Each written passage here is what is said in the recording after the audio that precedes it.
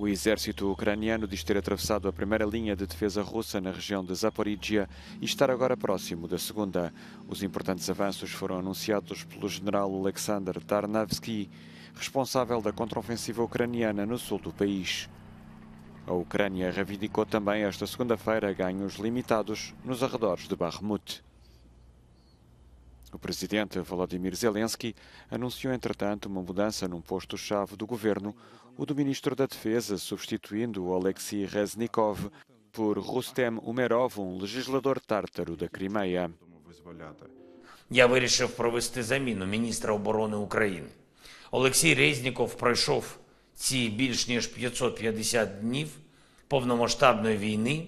Я вважаю, що міністерство потребує нових підходів та інших форматів взаємодії як з військовими, так і з суспільством в цілому.